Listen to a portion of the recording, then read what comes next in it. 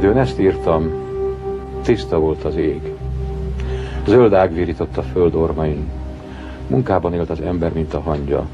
Küzdött a kéz, a szellem működött. Lángolt a gondos ész, a szív remélt. És a béke izzadt homlokát törölvén meghozni készült a legszebb jutalmat, az ember üdvöt, melyért fáradott. Ünnepre fordult a természet.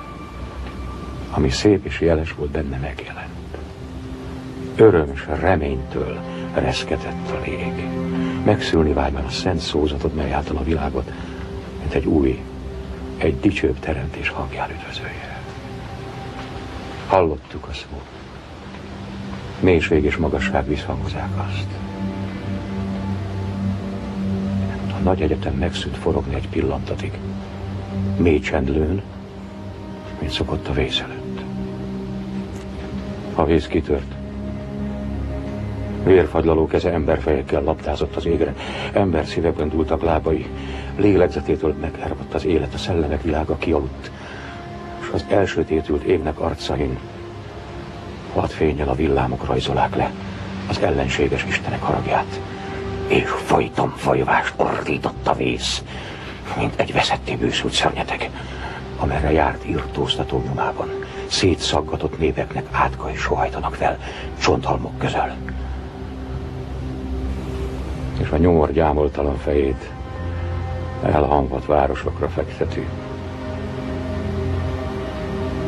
Most tél van, és csend, és hó, és halál. A föld megőszült. Nem hajszálonként, mint a boldog ember, egyszerre őszült az meg, mint az Isten, ki megteremtvén a világot, embert, félig Istent, félig állatot, elbarzadott az ordon mű felett, és bánatában ősz lett, és öreg. Majd eljön a hajfodrász a tavasz, és az akföldtár vendéghajat veszem, virágok bársonyába öltözik, üvegszemén a fagy fölengedett, és illattal elkendőzött arcai. Jó kedvet és ifjúságot hazud.